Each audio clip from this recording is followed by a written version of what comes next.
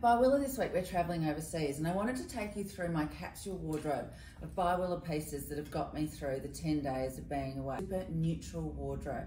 Really sit down when you're packing and think about what you're going to wear each piece with. Otherwise you'll come away and you'll have orphans and they'll sit in your suitcase and do nothing. I know we've all experienced that. So you'll see you've got a group of black and white and neutral and a group of navies and they all style together really easily.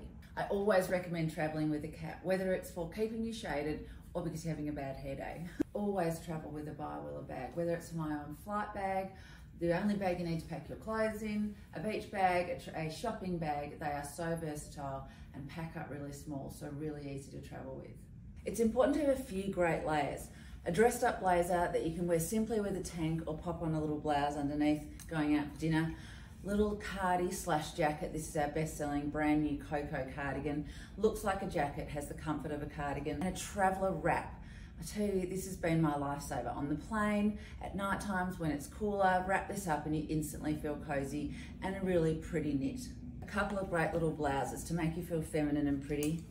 Great little essentials. This is our Carefree tank. I brought it in both colours. It layers under everything. And then for a feminine little t-shirt with an edge, the effortless, to give you that little bit of something on your sleeve. Always need a great dress. I think a black dress is fabulous because you don't have to worry about if anything spills on it.